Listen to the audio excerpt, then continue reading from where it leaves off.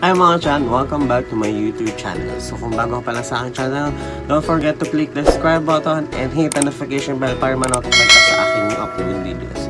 So yan. So mag, uh, for today's vlog, mag-share lang ako sa inyo ng application. Paano ba ako nagda-download ng movies? So dalawa yung gagamitin natin. Pupunta tayo sa Play Store, magda-download tayo ng application doon, then Google Chrome. So ito, 100% free, wala kayong babayaran at safe to. Yan. So tara, tuturuan ko kayo.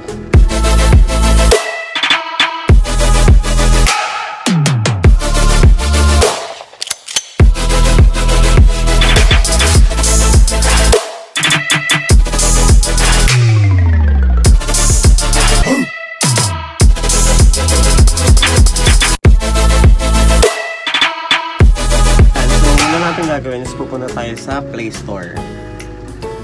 Yan. Search nyo yung torrent or yung uTorrent.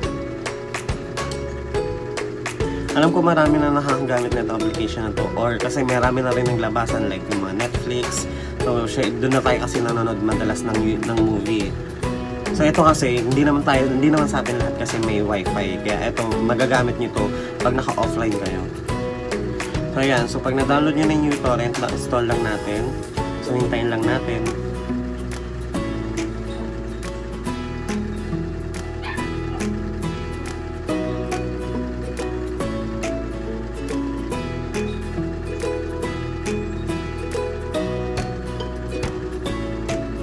So ayan, tapos na natin i-download, open.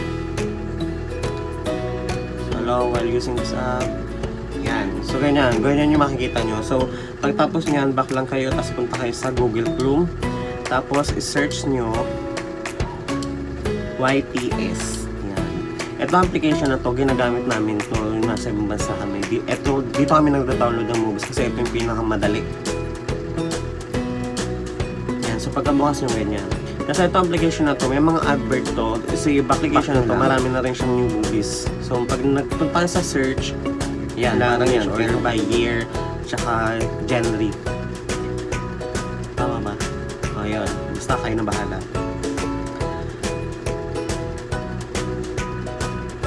So, ayan. So, kung gusto nyo, kung anong year ang gusto nyo mapanood na movie, like yan, may 2020, 2019. So, pupunta tayo sa 2020. Nandito may mga latest lagi itong mga to. Pag ma-advert lang kayo, back, back, back lang kayo. Back, back, back, back. Kahit alam kong hindi na kayo binalikan.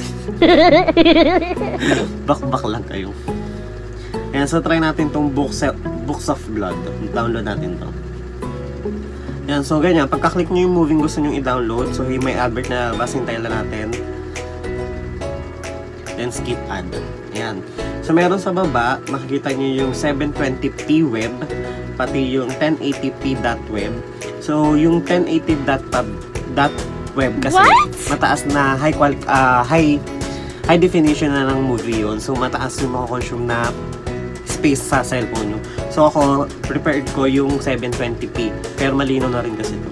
So ang gagawin nyo lang is long press, then makikita nyo, ayan, makikita nyo diba? So ang gagawin nyo is download link. Tapos makikita nyo, a-appear na siya, downloading files, tapos i-open nyo sa torrent. Yan. So, nag-start na siya mag-download. So, hintayin lang natin mag-download. Tapos, papakita ko sa inyo kung ano ba So, ayan. Tapos na natin i-download. So, makikita nyo ang linaw. Maganda. So, ayan. So, kung nag-enjoy ka sa aking video, don't forget to click the subscribe button and hit the notification bell para ma-notify ka sa lahat ng aking new upload videos. Thank you for watching, guys. Bye!